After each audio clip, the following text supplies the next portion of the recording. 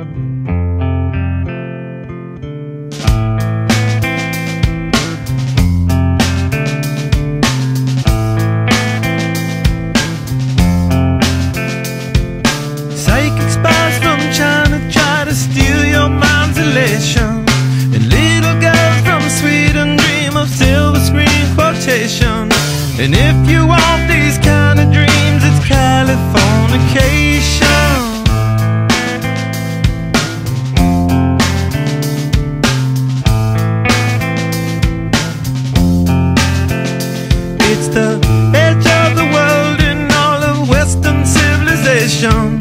The sun may rise in the east, at least it's settled in a final location.